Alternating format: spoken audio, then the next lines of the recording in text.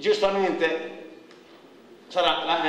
eh, il rappresentante dell'amministrazione Gianni Pompei da assessore che sostituisce il sindaco a fare i giusti onori di casa.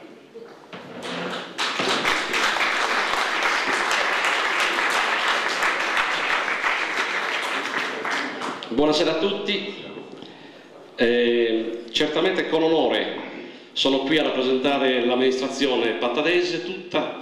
perché effettivamente io ieri ho avuto modo di conoscere la signora Teresa Fantasia e sono rimasto affascinato dal modo con cui eh, eh, si comporta, si, con, dal modo con cui parla, la semplicità, la, la dignità con cui comunque per tanti anni da emigrata porta avanti i valori della tradizione sarda.